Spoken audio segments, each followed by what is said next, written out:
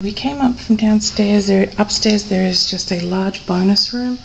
It has, um, oh, it has a bath as well. It's got a toilet. Wrong one. Here it is, light switch. Toilet and a shower. So it looks like there's three bathrooms in this house. And then it's a large bonus room. On this side, it has a built-in bar and all of those are included the fridge and the microwave and the sink. And then more space there. So the very large upstairs bonus room with bar